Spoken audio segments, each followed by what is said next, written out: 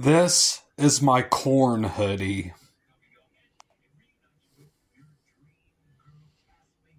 It's got to follow the leader patch sewed on it.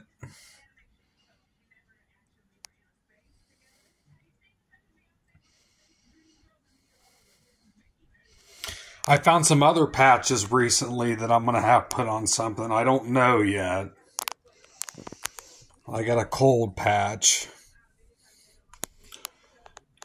Cold's been one of my favorite bands ever since I've heard 13 Ways to Bleed on stage in 2000. Got a Ignignokt, the Moon Rules number one from Aqua Teen Hunger Force, the Plutonians or no, the um Mooninites. Sorry, I'm high right now. He's flipping you off. Then I got a patch of the band HIM, which I got when I became a fan in 2004 when I first heard Razorblade Romance.